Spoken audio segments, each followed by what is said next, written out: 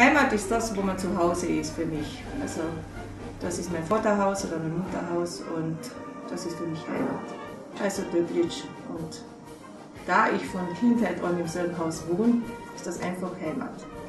Ich habe keinen politischen Sinn für Heimat, sondern es ist einfach eine rein persönliche.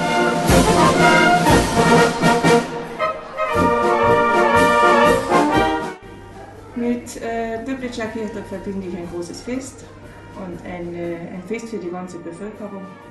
Persönlich äh, Freude und Tanzen und äh, eigentlich nur gute Erinnerungen und gute Beziehungen, gute Verbindungen. Das ist Kirche.